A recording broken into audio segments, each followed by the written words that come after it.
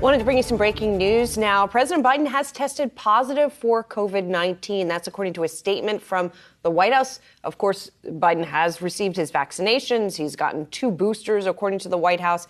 And they say he is experiencing what they're calling very mild symptoms. He has also begun taking Paxlovid. That is the Pfizer medication that is used for treatment of COVID 19.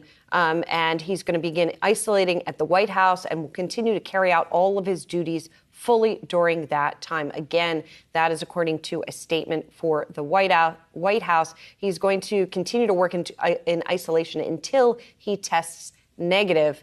Um, and they're going to provide a daily update on his status as he continues to work there while he is suffering from COVID 19. So, again, I just wanted to reiterate that headline. President Biden, perhaps inevitably, right? Because we are seeing case counts go up everywhere, as indeed tested positive for COVID 19.